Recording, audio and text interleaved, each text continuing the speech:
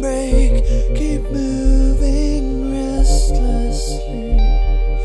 Fueled by my laughter, and we still travel.